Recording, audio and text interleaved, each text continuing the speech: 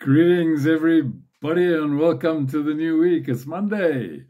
And yesterday was a very important day in the life of the Christian church. It was Pentecost Sunday, and that's the day when we remember that God poured out his Holy Spirit on, on the followers of Jesus.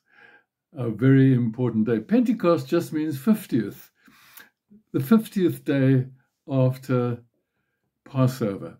And it was a day that the Jews normally celebrated the giving of the law by Moses, as well as uh, remembering the first fruits of the harvest. So everybody was there. Thousands and thousands of people were there on the day of Pentecost. The Holy Spirit is not like Jesus or God. We can think quite clearly about those two persons of the Trinity, or perhaps a bit more clearly, but the Holy Spirit is a bit more mysterious. And so in the Bible, there are a lot of pictures that are given to help us to understand. I love the uh, title of a book that was called The Go Between God, and that was all about the Holy Spirit. Because what the Holy Spirit's work is, is to take what is of Jesus and impart it to us. Jesus says he will take of what is mine and he will declare it to you. And so everything that God has done for us, all that Jesus has shown to us and given to us, is made real to us in our experience by the Holy Spirit. And there are a number of different pictures that he used. Well, there is, if we remember the story of Jesus' baptism, there's the dove.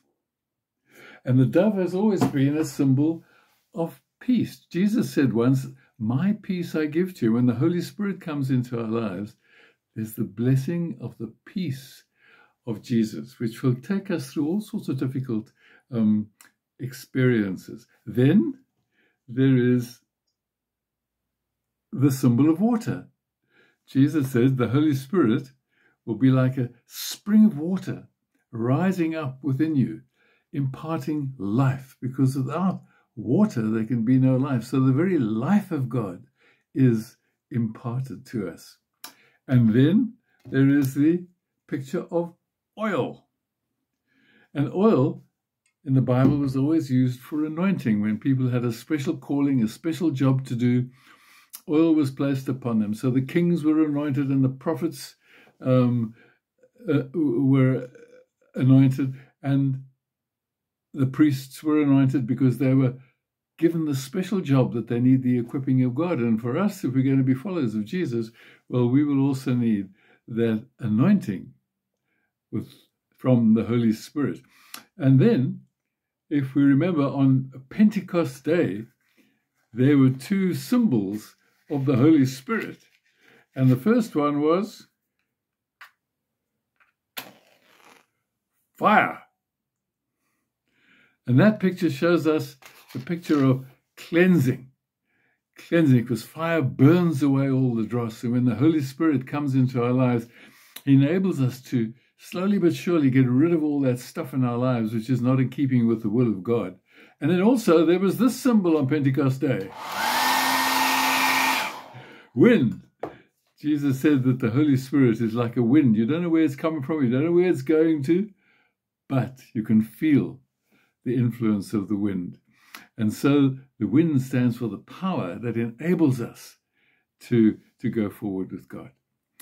Jesus said to the disciples on that day when he ascended into heaven, Don't go anywhere, wait here, wait for the Holy Spirit. Don't do anything until the Holy Spirit is given to you.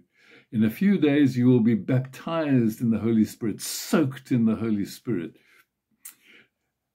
So, how are we filled with the Spirit? Well, if you take if I give you a glass of water that is full and I ask you to fill it with apple juice, what will you do? Well, it's already full. So what needs to happen is you need to empty it. And now that it's empty, you can fill it with the juice. And so if we're to be filled with the Holy Spirit, our calling is to put ourselves on one side, to empty ourselves of our own way and our own desires, and ask God to fill us with His Spirit that enables us to live by His power and His love, following His desires. That's a wonderful gift that God has given to us. Remember the pictures. There are a lot more pictures of the Holy Spirit as well. And I pray that as you go into this day, you will be blown by the wind of the Spirit, burnt up by uh, the Spirit, anointed by the Spirit, and given life by the Spirit. May God go with you.